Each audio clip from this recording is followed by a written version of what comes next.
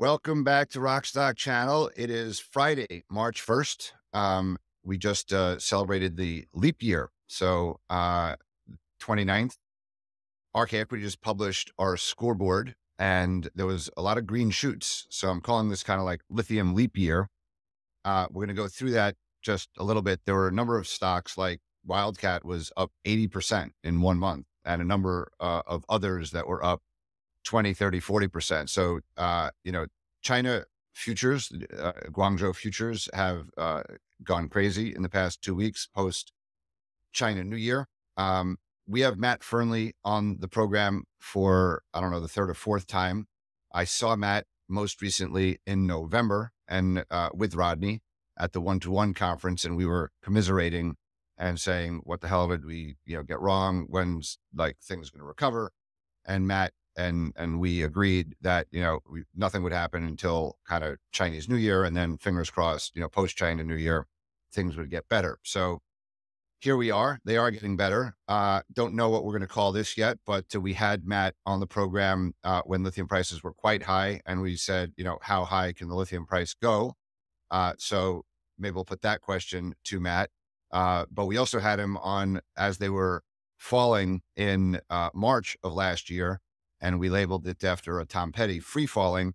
Uh, and he he rightly called with Rodney a, a bounce, you know, which we had uh, like nearly an eighty percent bounce um, before you know falling aggressively, you know, in the September, whatever, in the, the, the, the August to you know December period. Uh, so Matt just published his yearbook, uh, the Battery Materials Review yearbook, and uh, Rodney wrote a piece for that. Uh, and Matt, uh, we would all encourage you. This is free. You know, no such thing as a free lunch, but you know, this is free. There is a free information. Yeah, not just about lithium, but also graphite, nickel, and other battery materials. So Matt's been a great analyst and puts a lot of information, you know, in the public domain uh, for free, and uh, obviously has some other paid for uh, you know products, which we would encourage you to subscribe to. But um, yeah, before we get, into that, I just want to remind everybody of our sponsor, Lithium Royalty Corp. Uh, you know, ticker symbol LIRC on the Toronto, Toronto Stock Exchange. I'm heading to PDAC on Sunday. Look forward to catching up with Ernie Ortiz, the CEO. Current market cap of uh, LIRC is about $370 million. They have royalties on mostly hard rock uh, companies, including Sigma and Winsome Resources. Uh, you know, just check that out, and we'll have a bit more, you know, later in the program about them. And uh, again, if you uh, are not getting our uh, lithium ion bull directly into your email box, please you know, register your email at rkequity.com. And uh, if you like these videos, please like and subscribe and and comment. You know, let us know in the comments below. Uh, do you like Matt? Do you like what he's saying? You know, what other kind of guests um, do you think we we should have? Do you agree with what he's saying? Um, and uh, also, as a reminder, all of these videos are available in audio format on Spotify, Apple, and other podcast platforms. Uh, you could follow Rodney and me on X at Rodney Hooper 13 and me at Lithium Ion Bull and Matt Fernley, You're at at Review Battery, I think is your handle. Is that correct, Matt? Yeah, I post mostly on LinkedIn these days, but I do occasionally post on X. Okay. Um, that's right. And you were uh, you talking about your LinkedIn post. So for a, a, a, lot of last year and the year before, you were arguing, we were arguing that, you know, mining can't catch up to, you know, battery and EV. You know, you had these unconstrained and constrained models where, you know, EV take up was not going to hit those models because you would have an undersupply of battery materials. So here we are. We've mentioned this before. Um, you know, forecasts that Rodney put forth like five years ago, three years ago. You know, battery demand has exceeded by a lot. You know what he was forecasting back then, but supply actually did manage to keep up in lithium. You know, and then in nickel and cobalt. You know, so they're ha- like prices of batteries are going down, heading toward you know fifty dollars a kilowatt hour. So in lithium, we have talked. I mean, about we got wrong, you know, uh, China lepidolite, uh, you know, supply we didn't know. And some people are saying, you know, the cost of that is less than we, you know, estimated, you know, African, you know, DSO and, and, and other things, um, you know, have come on the market faster, Zimbabwe in particular. and uh, and then there was a lot of battery destocking, right? You know, um, th- these are the causes. That's what we got wrong, and now we're getting some signs that, you know, we don't know in China. You know, maybe curtailments. The West is curtailing a little bit. We don't really have a line of sight on Africa. I read a research report yesterday, you know, out of a China broker that uh, is waiting for the Chinese companies to put out their you know, half yearly results so they can get some sense of actually what's happening in Africa. They have a better sense of what's happening on China lepidolite, but no line of sight on on that on that. If you have any line of sight, Matt, you know, please share that. Yeah, and also on the battery destocking. I mean, you have a great partner, oh, yeah. Cormac O'Laoire, uh, who's based in China. We listen to you also have a great podcast, the Recharge podcast, which we which we listen to monthly. It's also chock full of uh, great information, but I, I find that Cormac is very plugged into what's happening in China. So, yeah, with that, um, how how are you seeing things? You know, at, at the moment, um, based on what yeah. I said, and then Rodney will go into his more detailed questions after that. Okay, so I mean, I, I think you you uh, relatively well recapped what we got wrong uh, last year. I think one of the key things that we got long, wrong last year was that we didn't realize how much inventory had been built in the supply chain. So China brought forward a lot of demand into the back end of 2022. Um, and that lithium demand didn't go into lithium inventories. It went into cathode inventories and, and battery inventories in China.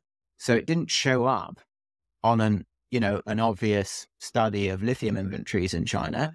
We, we, we saw, you know, 20, 25 days of supply and that looked absolutely fine. Where it did show up was when you started to analyze what the contained lithium was in cathode inventories and in cell inventories.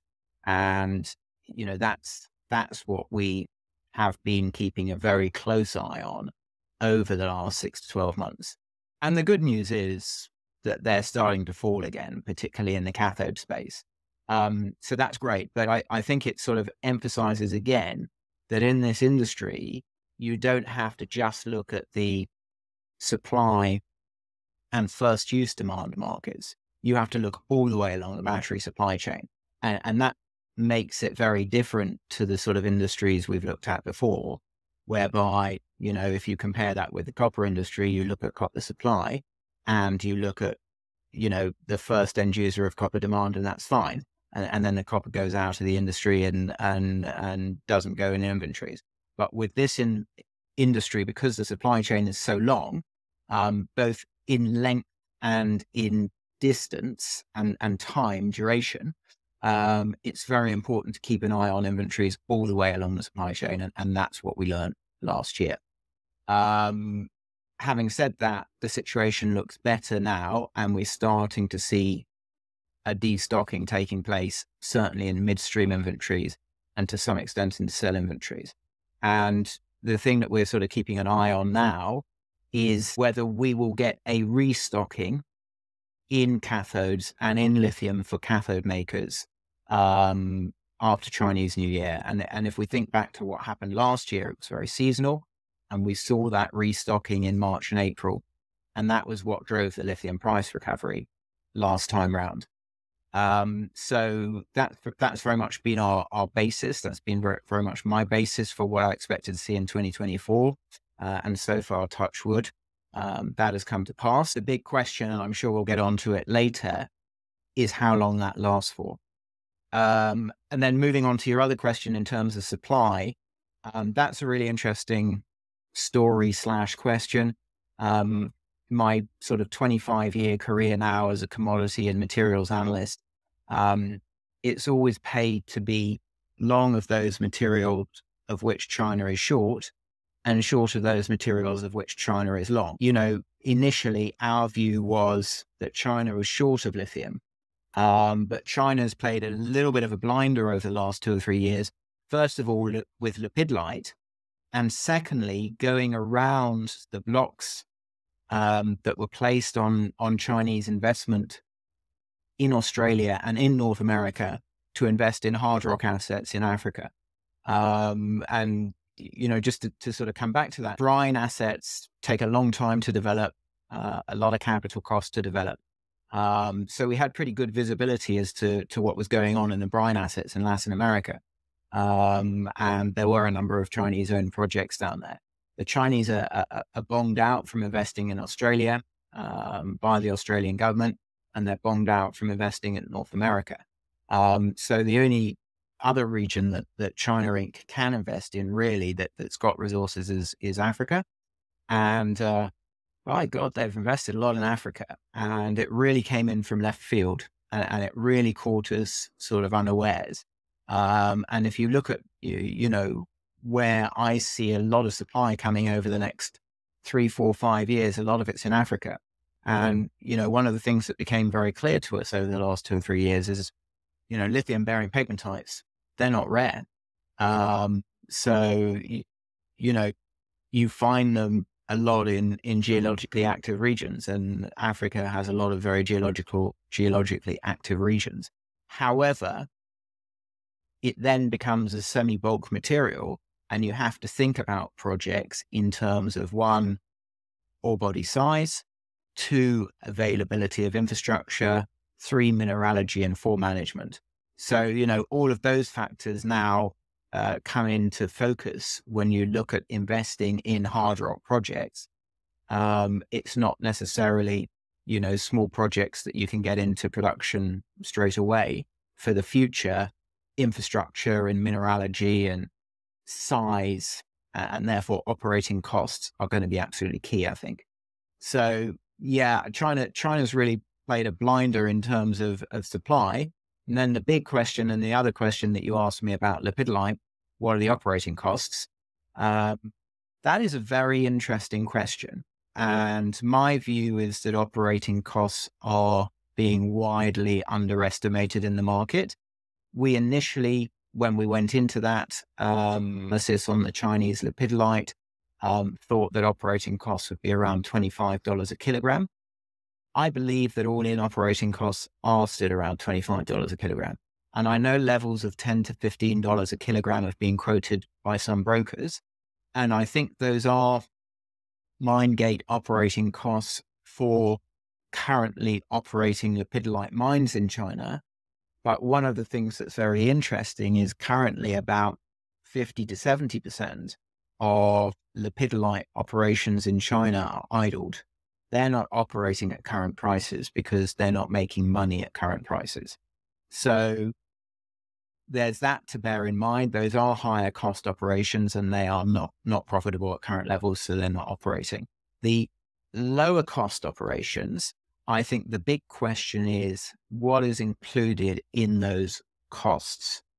Are, is it just mining and processing or is waste management included in those costs? And what's come very clearly out of some of the reports that have come out over the last couple of weeks about the Chinese environmental checks is that waste management may not be included in those costs.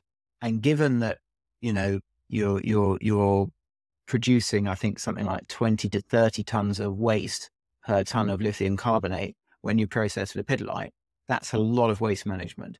And I think the other thing to be aware of is a lot of the consultants in China who are looking at these these um, segments are not mining people, so they're not aware that you know once when you start mining a um, a pegmatite body, um, you'll have almost a zero stripping uh, ratio. But as you mine deeper and deeper, you're mining more and more waste, and therefore your operating costs go up. Um, so they're not looking at costs through the cycle. They're looking at what costs are for the first year, 18 months of that project. And I think we have to be aware that mining costs and processing costs will increase over time. So I'm pretty happy with my $25 per kilogram long run cost for, for lepidolites in China. And there, that then impacts my long run, uh, long term price forecast for, for lithium over the medium to longer term. Rodney looks doubtful. He's going to. No, I, I think I think that's that's uh, great, Matt, because those are my sort of numbers. Um, and uh, yeah, I've been, I mean, I guess everyone, I, I suppose the thing we've been struggling with when analyzing all of this is how some brokers and banks are suggesting that lepidolite can grow as a, a you know production in in this sort of price environment when you've got spodumene producers with much higher grade struggling. So it doesn't really sort of stack up. Um, not to mention, if you're having environmental issues at this level of production, how are you meant to get to three and a half to four times this volume in the next. Yeah, I mean, I, I, I, I don't have three and a half to four times in my model. I have um, volumes growing maybe twice from where they are currently. Um, and I think I regard that lepidolite capacity in China or the bulk of that lepidolite capacity that's non-integrated in China as a, um, how would you call it?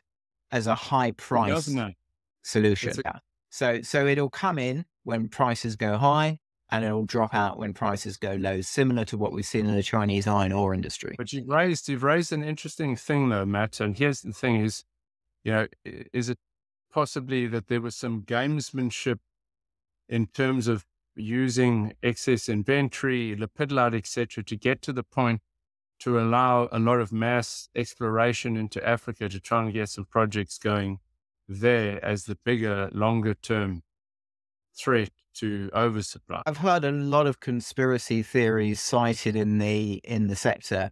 I'm not a big believer in conspiracy theories. I, it's I've, not a conspiracy yeah. theory. What I'm saying is it's a strategy. You you fill a stopgap and then you you know, the idea was in my mind, they new Sigma, Liontown, uh, Covalent were all coming on. So you know that that material has to come on. The question is, where does the price get set if everyone's moving to market reference uh, when they started? So, you know, you weren't starting an elevated price. We're now but, starting at a much more sober level. I don't, I don't think that the lepidolite expansion, I mean, obviously some lepidolite expansion was done by large players, but an awful lot of it is mum and pop operations. It's basically taking advantage of the fact that prices were high. Um, so yeah. I don't think it was, you know, a centralized plan to come on and do that. Um, I, I, think they did it taking advantage of a, a, of a known occurrence because the prices were high and because demand for lithium from the Chinese property market was weak. So, you know, they basically re reset that supply.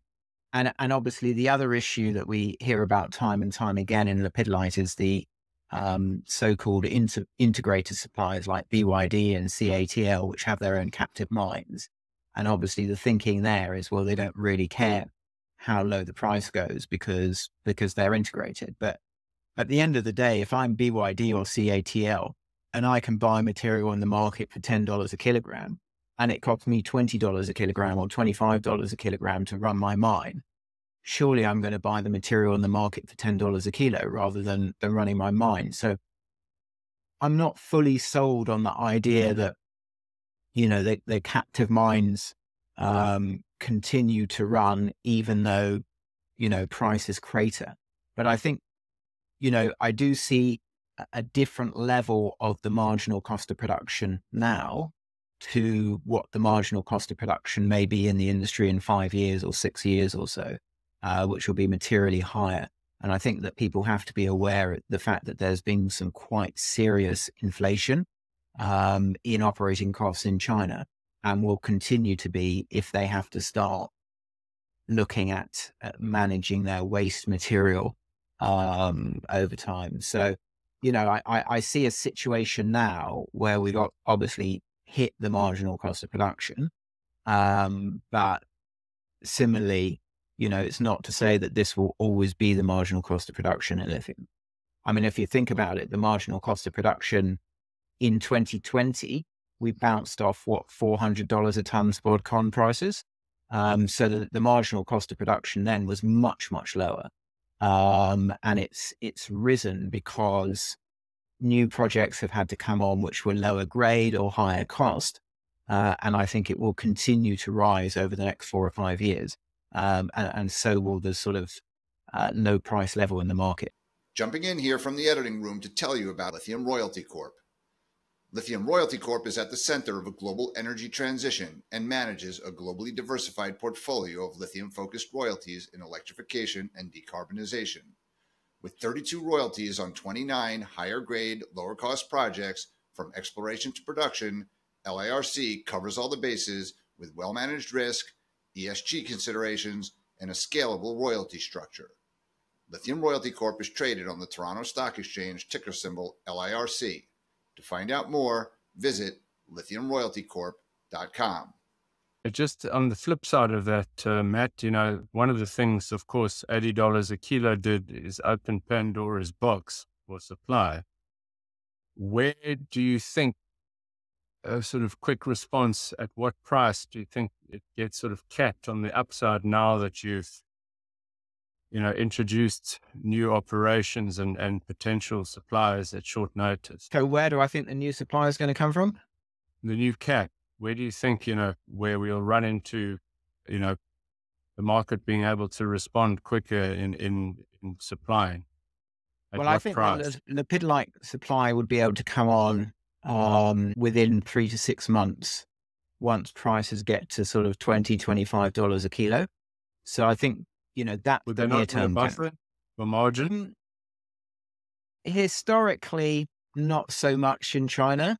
Um, you know, my my experience of of uh, looking at China in some detail is that you don't necessarily get that margin buffer if it's on a restart.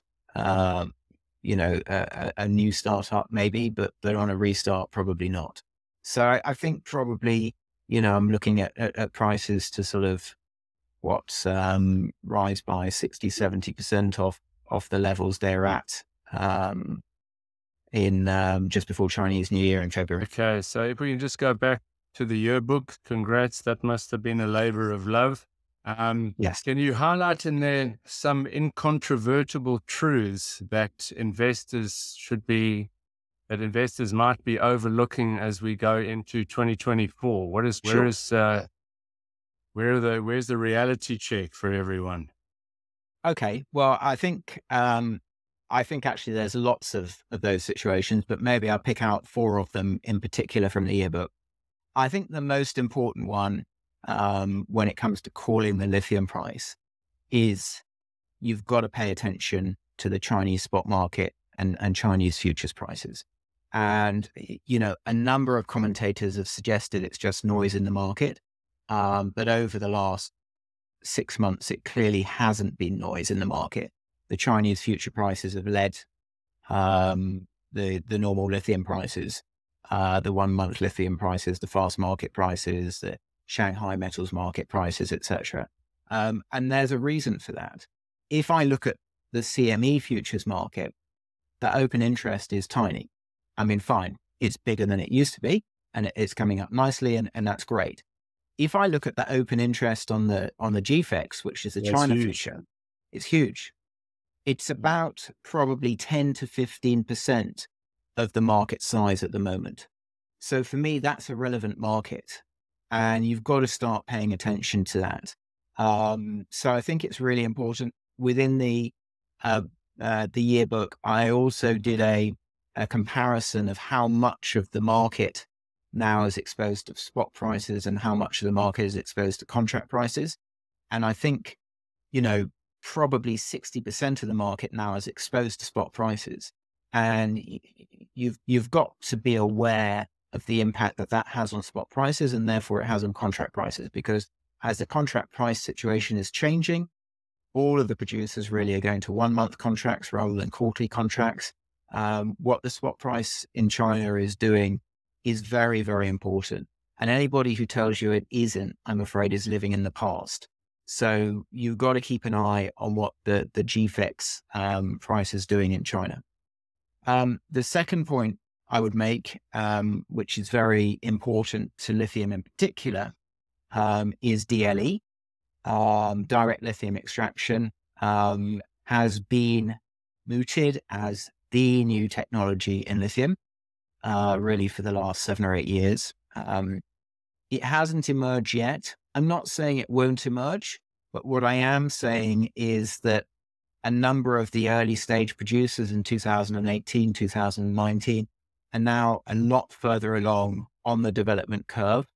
And one of the incontrovertible proofs and certainties is that as they have got further along on the development curve, um, their assessments for how much these projects will cost have risen by 100 to 150%. So let's be realistic. DLE may very well be the answer to lithium supply, but not at the sort of capital intensities that are being quoted by junior companies.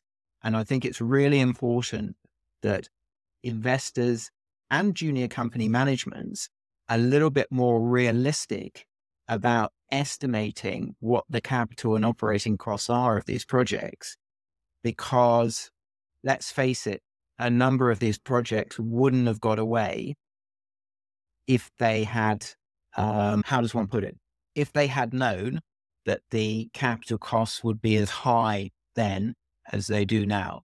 So I think investors have to have to look at these projects in a little bit more detail and put a bit of a contingency cost on because I don't think junior management teams are correctly estimating what the capital intensity of these projects are.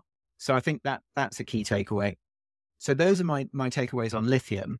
Um, I have one really important takeaway on the industry, um, and and that is that I think that the bulk of sell side analysts and US sell side analysts in particular are too conservative on EV sales in 2020 from 2025.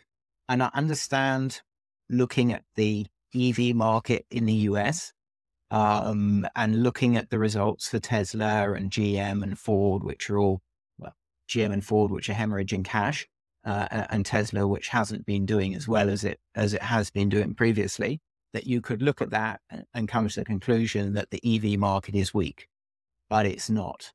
And in China in particular, growth is pretty robust.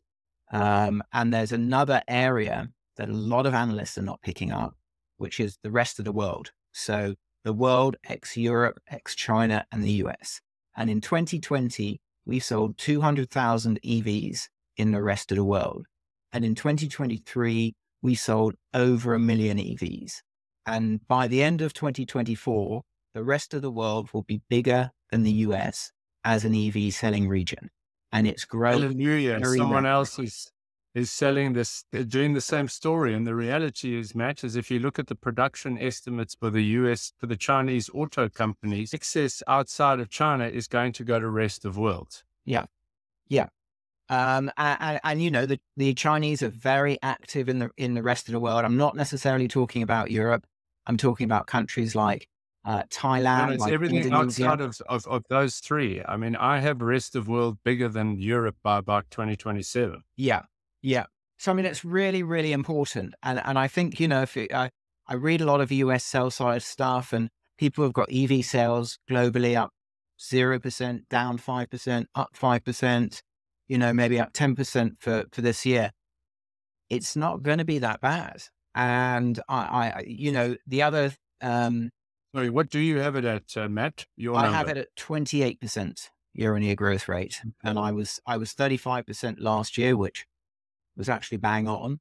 Um, I, I, have a bit of a slowdown in in Europe and and the US, and sort of about the same in China, and acceleration in the rest of the world.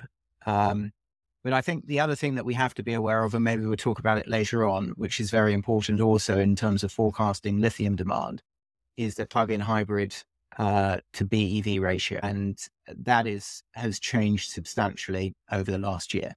Um, but I won't mention that now. And then the final point that I would make that I think investors have to be aware of is that a lot of the easy money has been made in this sector. We had an up market basically from September 2020 till uh, what the end of 20, you know, that was what, two years. I think now cycles in this sector will be much shorter. So uh, I think that a lot of the easy money has been made. We have to be much more aware of, of what cycles are doing, and cycles are going to be governed by what inventories are doing. So it's really, really important that investors keep an eye on inventory positions um, at raw material producers, at cathode makers, um, and in the cell and EV supply chains. Um, and, and, you know, these are these are data points we publish on a monthly basis in, in Battery Materials Review, that they allow you to understand where prices are going.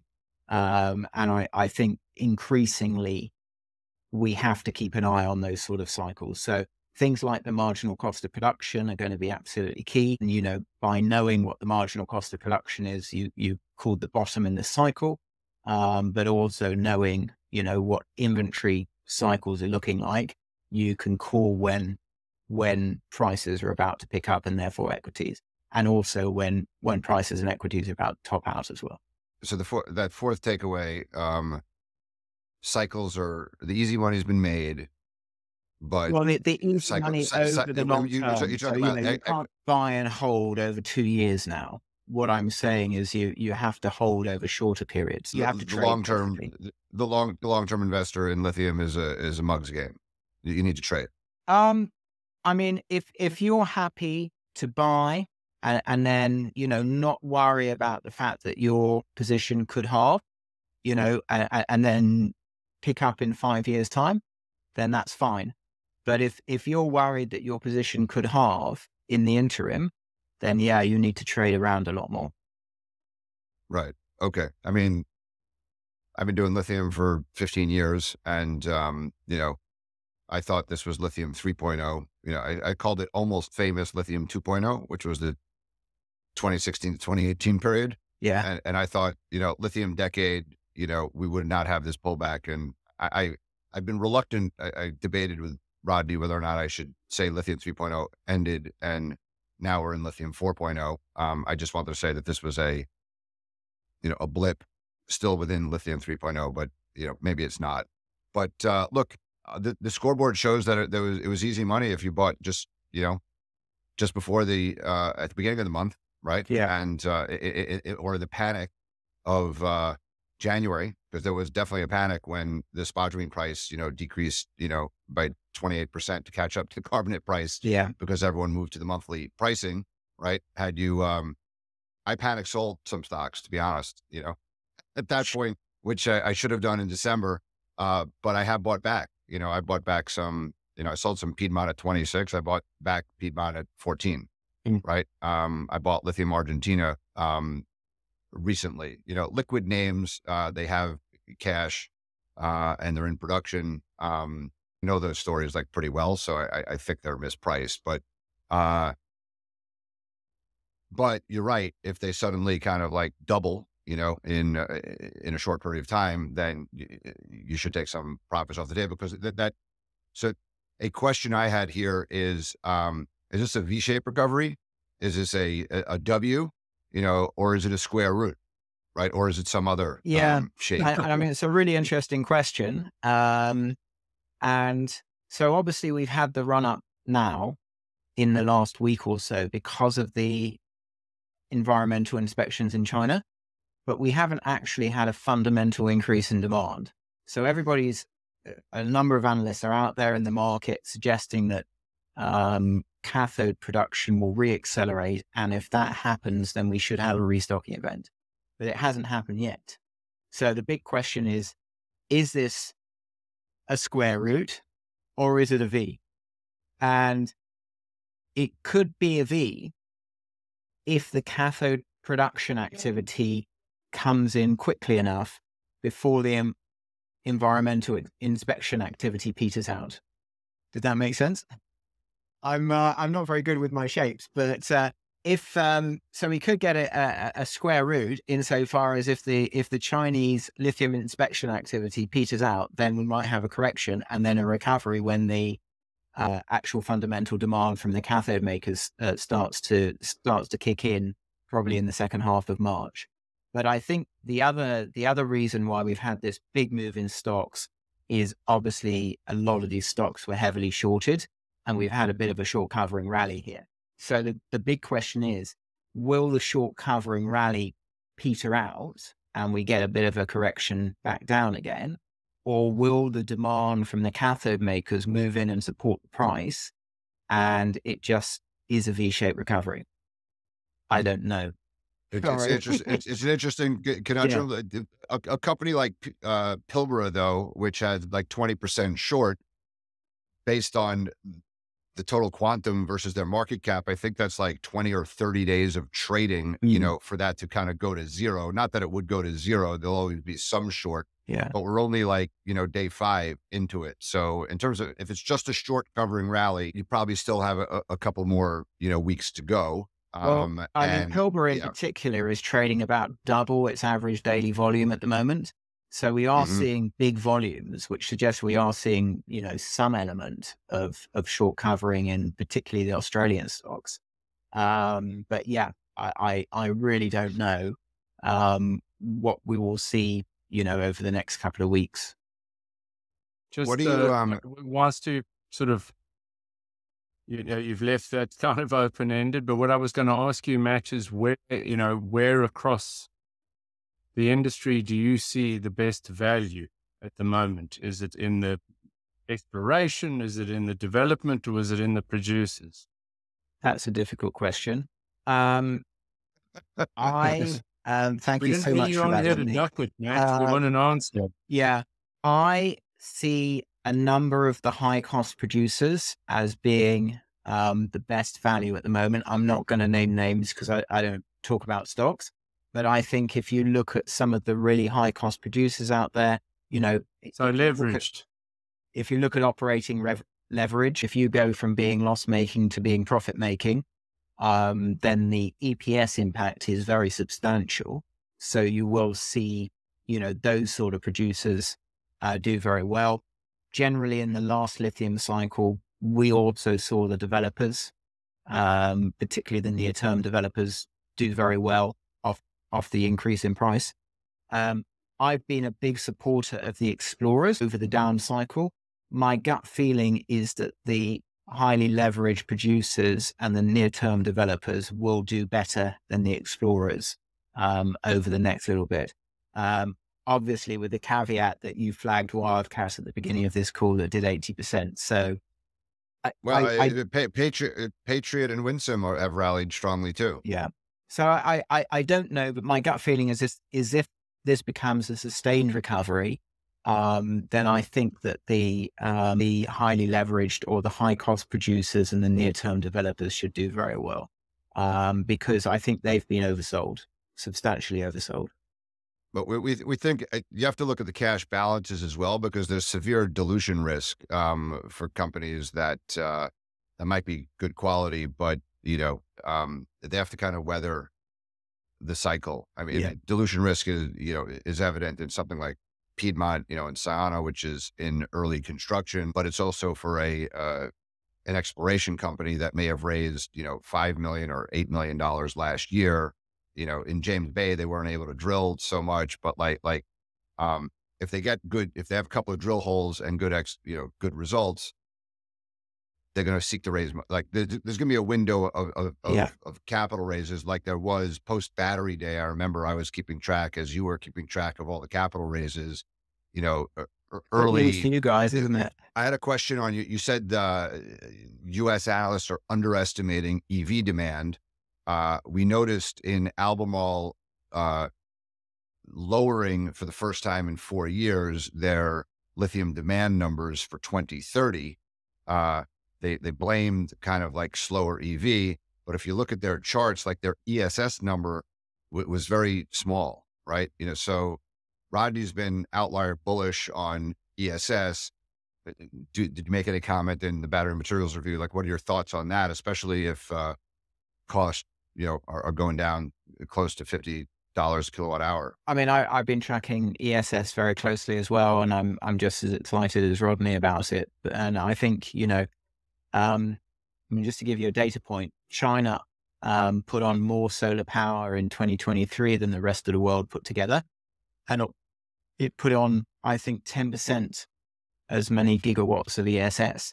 So there's a lot of latent demand in China for ESS. There's a lot of solar capacity going on around the world, wind as well to a lesser extent. Um, so I think, you know, I've always said that ESS is going to grow faster um, than EVs, but obviously it's off a lower base. Um, but it will start to become impactful by the second half of this decade. um, in terms of lithium demand, in terms of um, of cell demand in the big picture. So, yeah, I, I think that's very relevant too. One other the, question. I think the, the the issue. I mean, I, I, I don't want to put words into Albemarle's mouth, but I think that the um, perhaps the issue of the lower lithium demand um, has something to do with the huge takeoff in plug-in hybrids in China um, because we have seen the PHEV to BEV ratio increase quite substantially in China over the last 12 to 14 months or so. And obviously, your average plug in hybrid has 50% smaller battery in China, um, but actually a, a 70% smaller battery than the average BEV in Europe and the US. So, yes, um, I, I think, you know, that's one of the that's one of the key things that we have to be aware of when we're tracking um, when we're tracking lithium demand. You know, even though we're we're selling a large amount of EVs, a, a greater proportion of the EVs we're selling in China are, are PHEVs. Okay, that, that, great. My other question that just came to mind: you you've been a China watcher for a very long period of time, uh, and and mining analyst, you know, and I'm looking at what's happening, you know, in the EV space and the battery space. And China had this Made in China 2025 plan announced nine years ago. And just looking through the prism of batteries and EVs, it was a great industrial policy. They're winning, you know, they're kicking America's ass, Europe's ass, right? Like it's crazy.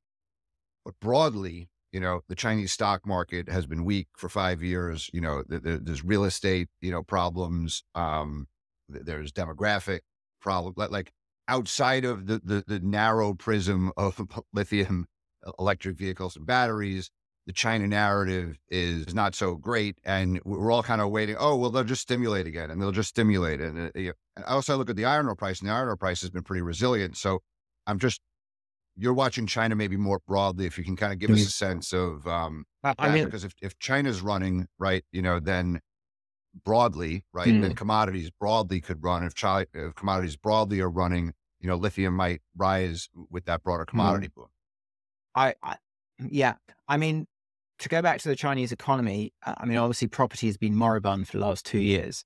Um, and, you know, historically, uh, property has been a major driver of of commodities demand in China, uh, particularly copper. Yet, copper copper demand in China was up 10% year on year last year. And why was copper demand in China up 10% year on year? Because of the renewables building.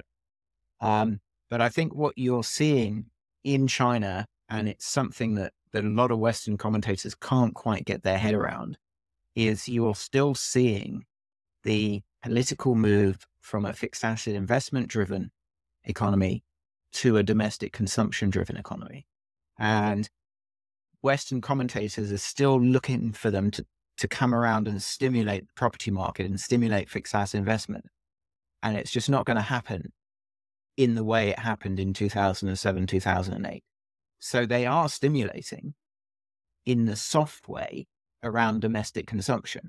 And they want their economy to move to a situation where it's being driven by domestic consumption like the Western world economies do. And, and that's actually really supportive of EVs because you've got this huge domestic industry and you have the consumers there in China. So there is the potential for Chinese industrial production to reaccelerate this year. Like in the Western world, there are signs that it troughed in the back end of, of 2023. Um, but it's not going to be a like it has been in, in previous years. It's going to be a, a gradual recovery. And just on the other macro point of view, in terms of the, the wider market, I do think that um, European and US uh, IP will recover this year. And one of the big drivers is that, that I see is business inventory restocking cycle, uh, which should be positive for demand in, in manufactured goods. Uh, we may very well see the long awaited infrastructure build out uh, in the US and in Europe. I'm not holding my breath. Uh, we've been waiting for that for nigh on 20 years and it still hasn't quite uh, occurred. So we'll, we'll wait and see if it does. But I do think the business inventory restocking cycle and um, the IP cycle will be a bit stronger in the second half of the year. and that could feed into other parts of the battery raw materials complex. Okay. Anyway, Matt, always a pleasure. Um, thanks again. Encourage every viewer here to uh, follow Matt on LinkedIn uh, and download this battery materials review. Listen to his Recharge podcast with Cormac O'Laoire. Uh, lots of great information there. Always love having you on the program, Matt, and um, exchanging thoughts. Thanks for the invite. Good to talk to you guys always.